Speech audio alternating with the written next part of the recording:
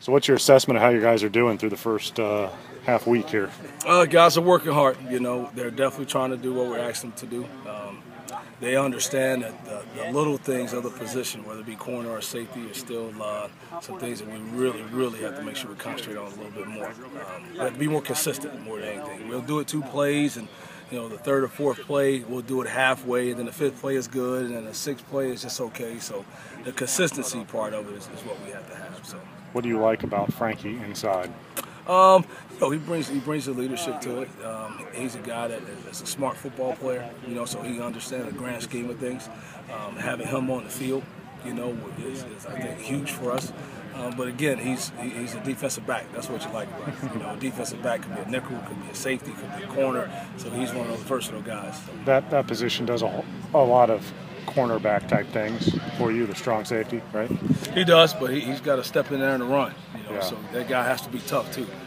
When it's time to, to, roll down and you know blitz or do some things like that, he's got to be ready to go as well as cover the deep half. Your assessment of the switch for Brown and, and Frankie switching switching off, just how have those two guys handled that? Oh, they handled it great. I mean, those guys are they're veteran guys. You know, they've been in the program, and they all understand. You know, we need to do what's best for the team. You know, and as a switch permanent, we don't go uh, through camp. Everything's an experiment. You just don't. You have less time in camp than you do uh, in the spring. You know, even though you have less practices in the spring, you know, you got more time to do things. During camp, you got to get ready to go. So that's the difference. And Landon, just as a fifth-year guy back there to help that transition, just obviously that. Oh yeah, a, a, leader for sure. Again, guy's been around, played a lot of football for us, understands our scheme, uh, understands the big picture. So it's a good thing for us. You know, they, you never know. You may see him all over the place. You know, all those guys need to be interchangeable. You know, all corners, all safeties.